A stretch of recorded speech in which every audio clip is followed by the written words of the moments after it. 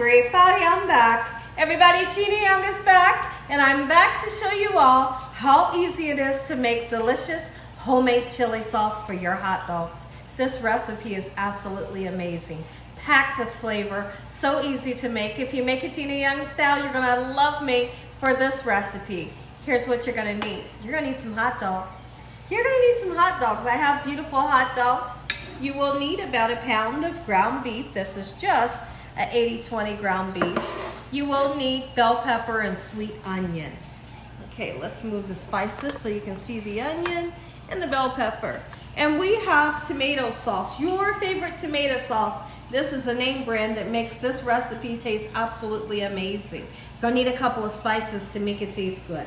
We have salt, pepper, garlic and onion powder, and we have two chili seasoning packets, okay? You will need, of course, you're gonna need hot dog buns and you can't have a good chili dog without cheese, onions, and potato chips. Make sure your hands are impeccably clean. Let me show you how easy it is to make this delicious recipe. Who loves a good chili dog? A lot of people, when they make chili dogs, they just go out and purchase the pre-made chili sauce. That is delicious, but when you make it homemade, there's nothing like homemade.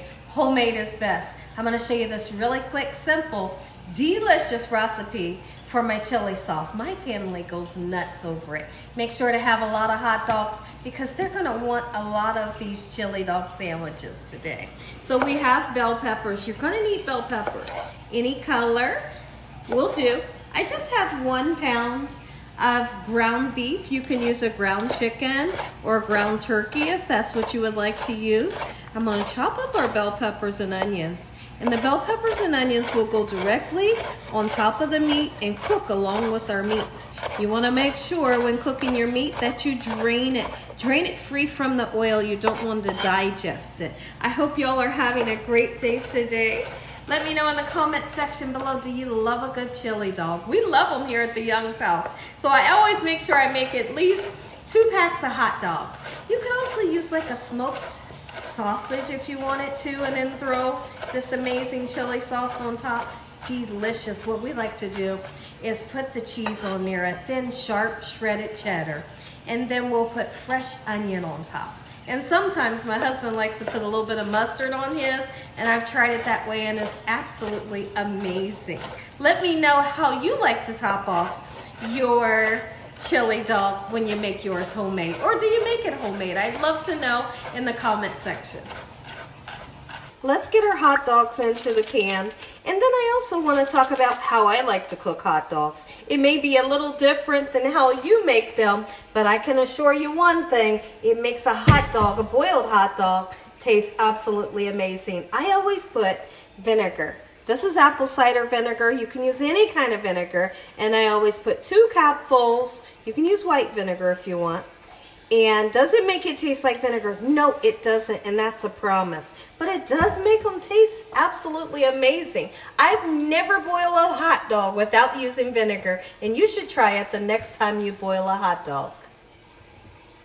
I'll be cooking the ground beef on a medium heat. Let's go ahead and put our bell peppers in, just like so. I hope y'all are having an amazing day today. And it's really up to you how much of the bell peppers and onions that you would like to put in. I like to put in a nice amount.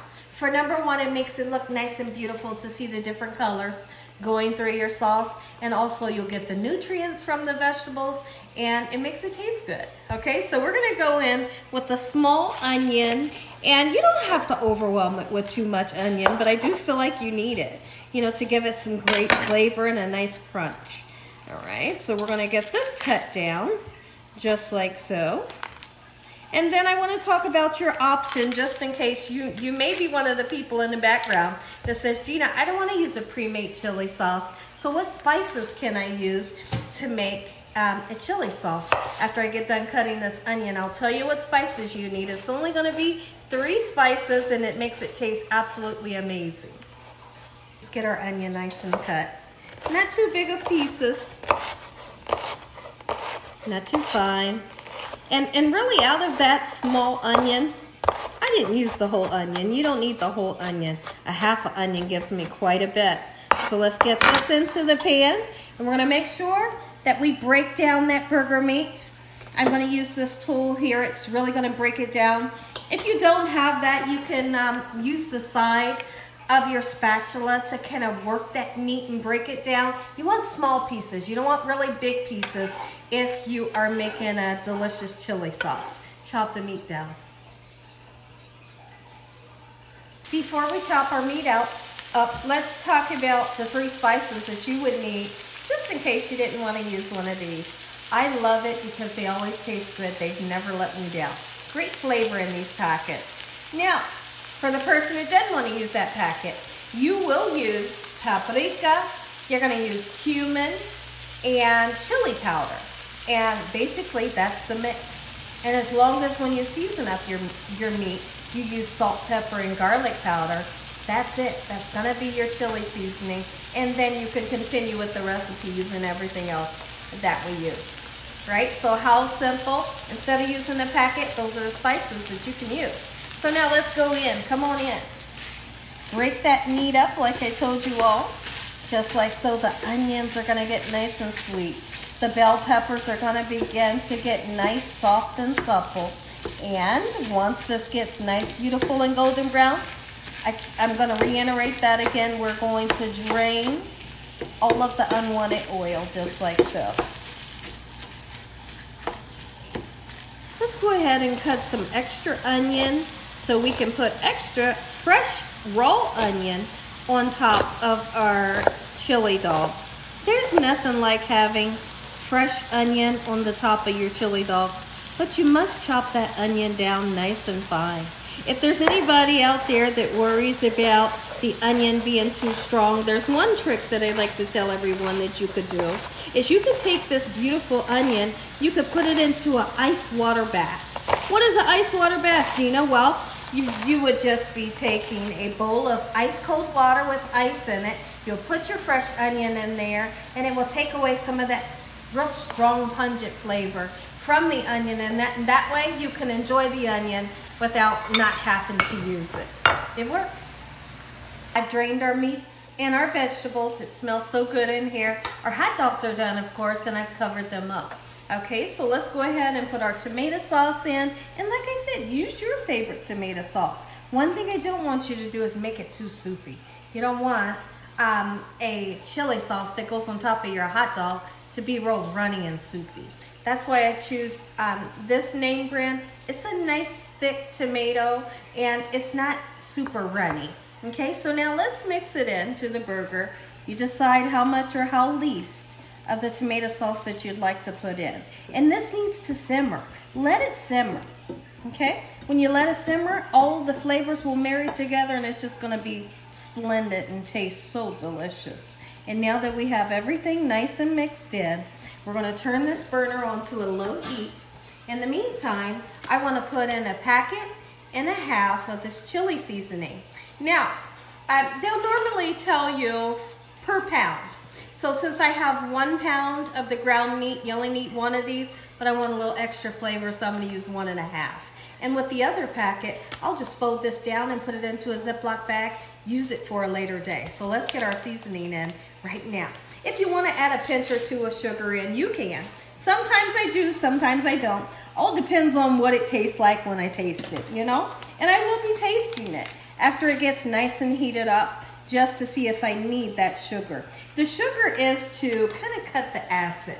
At least that's what my dad would tell me when he was making anything that had a tomato sauce. You kind of, you know how the acid can get you right there, kind of be a little sour. You put that pinch of sugar in there, it fixes it. Come on in, let's mix everything in. And these spices will thicken up your sauce and make your sauce a little bit darker as well. Oh, it smells so good in here. You're invited.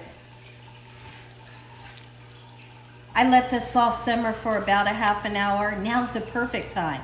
Let's go in and look how thick it is. That's what I want on my hot dog, not anything that's gonna run off runny, okay? Perfect, perfect amount of tomato sauce we put in. Now I'm not looking to taste the meat. I'm just looking to literally taste the flavor of the sauce. So let's do that together. See how tasty it is. Let me see.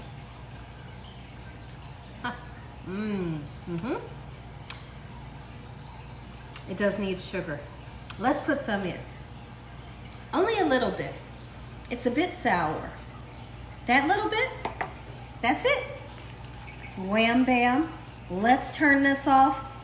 Let's make our chili dogs Gina Young style. Oh, you're gonna love this recipe.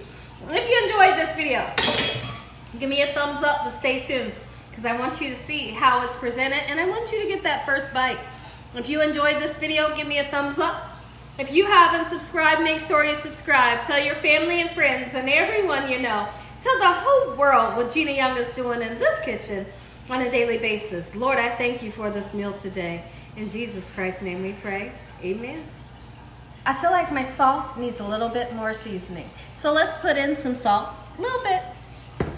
Black pepper, onion and garlic powder, don't be afraid to season. When you season, you give your food good flavor and it's gonna taste good. There we go.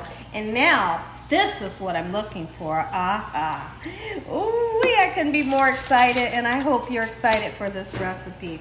So now, let's go ahead. Let me grab a fork. We're gonna make up some chili dogs. You're gonna get that first bite.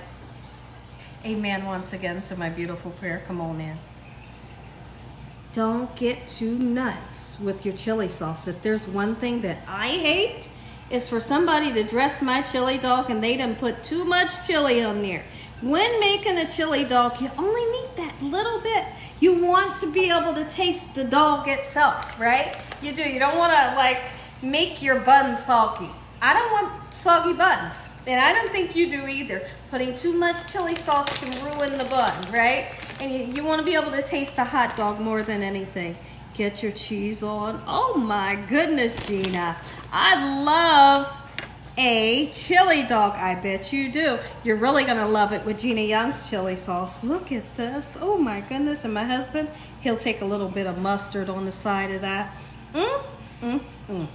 Look it, took it easy recipe any day of the week. Make it for the holiday, make it for the birthday, make it every day just because it's that simple and that delicious. Come on, take a look.